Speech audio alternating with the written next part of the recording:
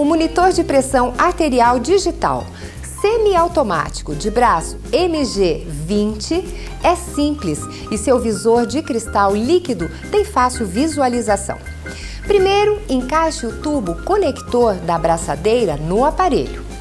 Para iniciar a utilização, sente-se em posição ereta, sem cruzar as pernas. Coloque a abraçadeira no braço esquerdo, de 1 a 2 centímetros acima do cotovelo. Lembrando que a abraçadeira não pode ficar frouxa, nem muito apertada.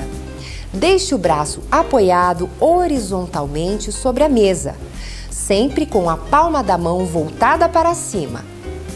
É importante que a braçadeira fique na mesma altura do coração. Regule esta altura posicionando corretamente o braço.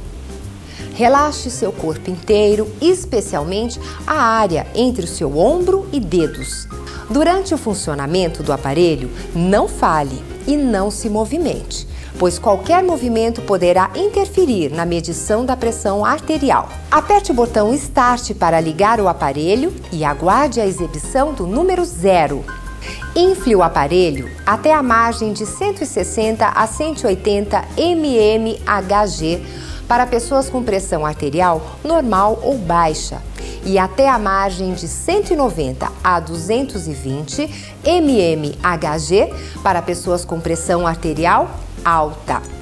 Aguarde até que os números regridam no visor, apresentando o resultado da medição. Os valores da pressão arterial sistólica, diastólica e batimentos cardíacos aparecerão na tela e serão salvos automaticamente na memória.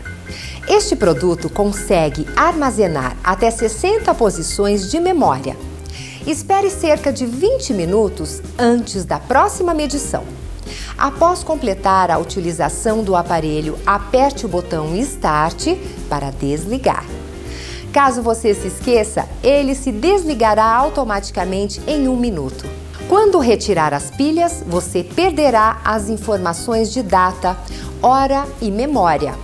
Para maior preservação de seu aparelho, limpe o braço retirando a oleosidade antes da utilização.